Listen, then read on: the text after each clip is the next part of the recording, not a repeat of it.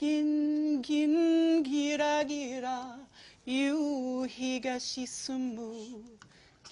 day, Urashima went down to the sea to fish for his family and for himself. He caught lots of fish. He was a very good fisherman. Except for one day. He waited and he waited, but not a fish did he catch. At the beginning of the story, Urashima catches the turtle um, he's a fisherman, so he's waiting to catch fish, but instead catches this turtle and decides uh, couldn't possibly you know, make that into turtle soup. It was just a this beautiful creature. So throws him, her back into the sea. Splash! Down they went. Urashima uh, is taken down to the bottom of the sea by a turtle. And she, in fact, is the princess Otohime.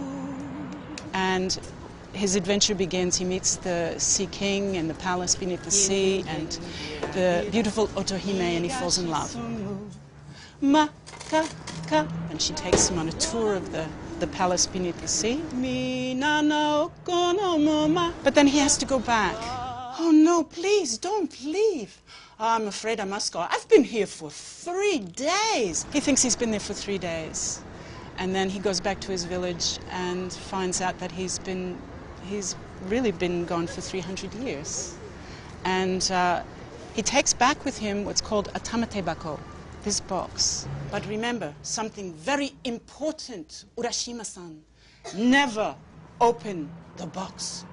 But when he opens the box, out comes some smoke, two puffs of smoke. In actual fact, his age, he's, Otohime, his lover, has been saving oh. his age in this box. And he turns into a 300-year-old man. At the end of the show, of course, it's, it's the end of his life, and so the sun is setting on him. And uh, it's, it's a symbol of the end for Urashima. Owari, which means the end.